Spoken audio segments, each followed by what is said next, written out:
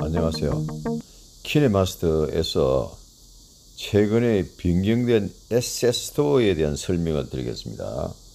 자, 지금 과거에 이 자리에 SS 스토어가 있었잖아요. 이 초기 화면에 키네마스터를 키면 이 초기 화면인 여기에서 SS 스토어가 사라져 버렸어요. 지금 현재 이것은 현재 이것은 틱톡입니다. 틱톡. 이리로 가면은 키네마스터를 이용해서 틱톡 사용하는 그런 방 그런 동영상이 쫙 올라와 있고 거기에 대한 안내가 있습니다. 그래서 이것은 키, 키네 SS 스토어가 아닙니다. 그럼 SS 스토어는 어떻게 하느냐 하면은 에, 일단 이 거기 저 이 프로젝트로 들어가겠습니다. 프로젝트로 들어가면 초기 화면에 이렇게 SS 스토어가 여기 있습니다. 이렇게 편집 모드에서는 이 위치입니다. 이 위치에서 이것을 SS 스토어를 터치를 해보겠어요. 툭 터치하면은 처음에 이와 같이 이 아이콘 왼쪽에 있죠. 왼쪽에 이렇게 아이콘 하나 이 폴더입니다. 되겠다. 그래서 이 폴더로 지금 되고 있어요.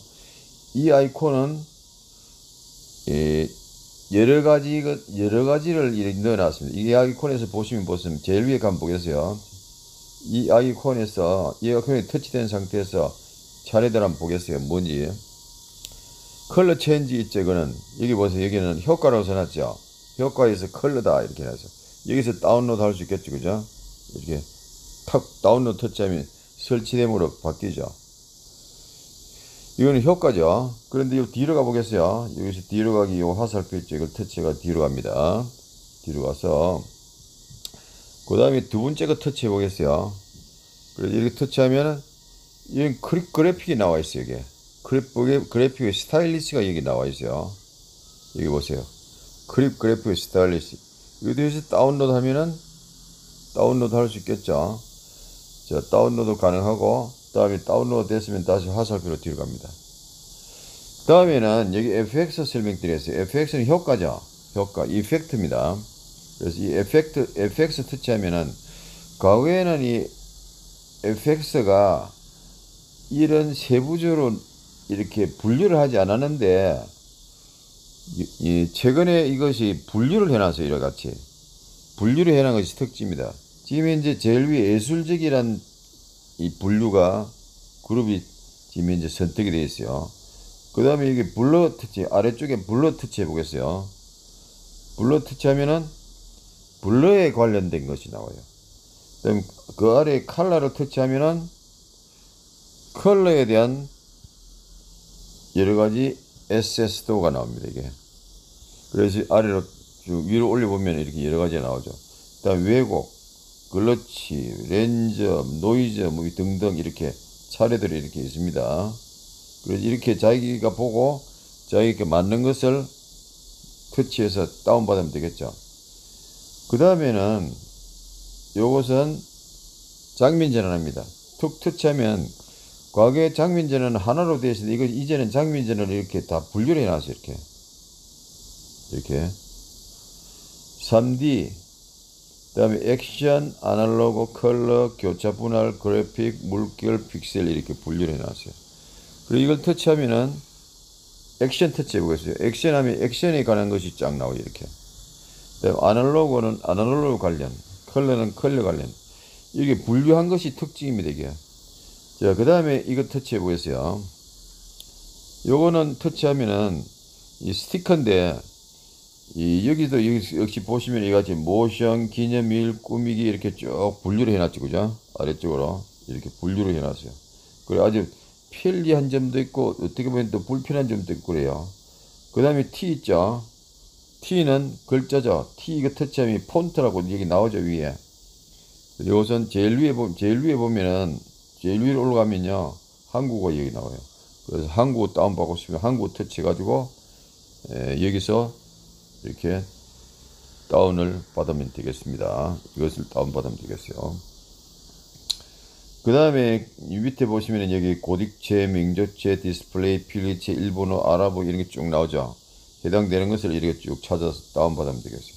그 다음에 음악도 뭐 바뀌었어 이게 음악 터치해 볼게요 음악 이거 터치하면은 이렇게 일렉트로니카와 일렉트로니카 팝 R&B and soul하고 음악 효과 이렇게 분류를 해놨어요 그래서 음악 터치하면은 음악에 관련된 것이 쭉 있어요 이렇게 그리고 이거 다운할 수 있겠죠 플레이 이쪽에 요건 플레이고 이쪽에 이거는 다운로드 이 다운로드 이걸 터치하면 다운이 됩니다 자, 그 다음에 마지막에 여기 보시면은 여기 있어요.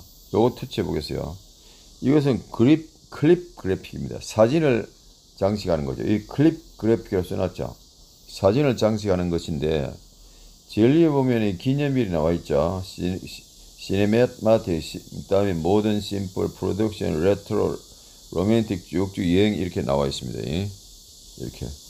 이걸 터치, 터치해서, 그러면 오른쪽에 여러 가지 그 세부적인 것 나오죠. 이렇게 나옵니다. 클립 그래픽은 이, 동, 이 사진을 장식하는 겁니다. 자, 이상과 같이 자, 여기 asset store 있죠. 키네마스터 SS도가 굉장히 많이 바뀌었습니다. 그리고 분류가 많이 됐어요.